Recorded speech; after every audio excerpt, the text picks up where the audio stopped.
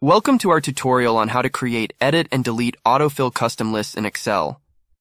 Custom lists allow you to create personalized sequences for quick data entry.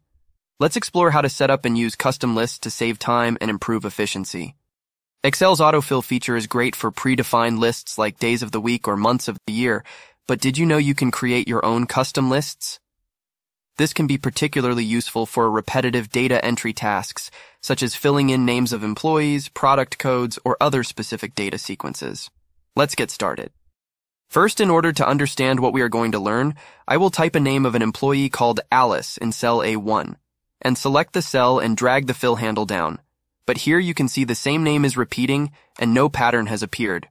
Because my employee list is not containing standard list of values like weekdays or months.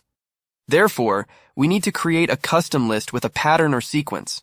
We'll use the example of a list of employee names as I mentioned earlier. Start by clicking on File, More, and then Options to open the Excel Options window. In the Excel Options window, go to the Advanced section, scroll down to General, and click on Edit Custom Lists. In the Custom List dialog box, select New List. In the List Entries box, type the names of the employees, each on a new line. For example, Alice, Bob, Charlie, and David. You can also import list of values from cells as well.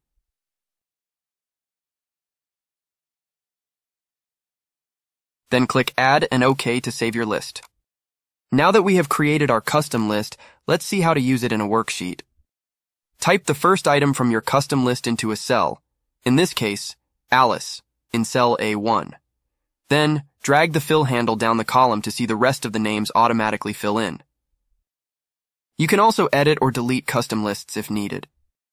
To edit a custom list, go back to File, More, Options, Advanced, and Edit Custom Lists. Select the list you want to edit, make your changes. Here I will add another name, Emily, and click Add and OK to save.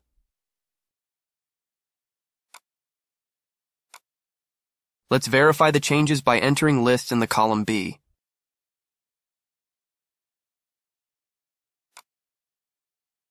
Finally, to delete a custom list, go back to File, Options, Advanced, and Edit Custom Lists.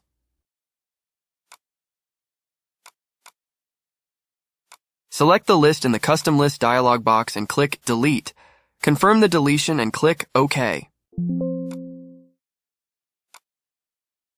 You can verify the changes again by typing the first name of the custom list created. You can see there is no list appeared as we deleted it lastly. Using autofill custom lists in Excel is a powerful way to streamline data entry and ensure consistency across your worksheets. Whether it's for employee names, product codes, or any other repetitive data, custom lists can save you a significant amount of time. Thank you for watching. We hope you found this tutorial helpful. For more Excel tips and tricks, be sure to check out our other videos. Don't forget to like, share, and subscribe Excel Tutor. See you next time.